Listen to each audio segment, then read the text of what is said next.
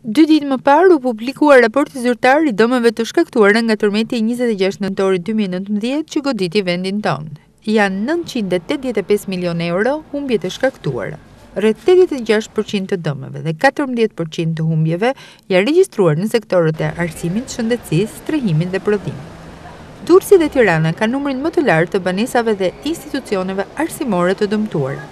janë treqind e njëzet e një, që kapin vlerën e shtatëdhjetë e dy pikë tridhjetë e pesë milionë eurove.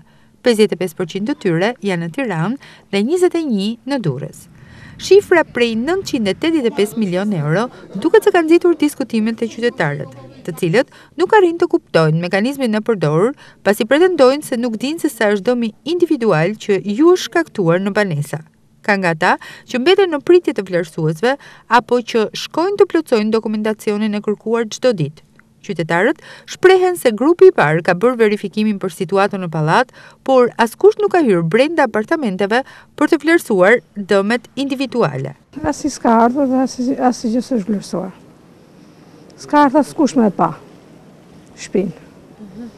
Përshëm, gjithë muret janë të çara, banjot, tubacionet, çdo gjë është shkatrru.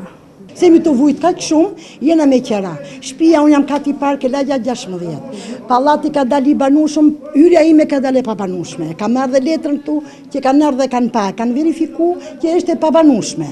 Katër herë janë letrat që kam bo nëna, edhe asnjë lloj përgjigje, se jam nëpër komitete, nëpër komuna.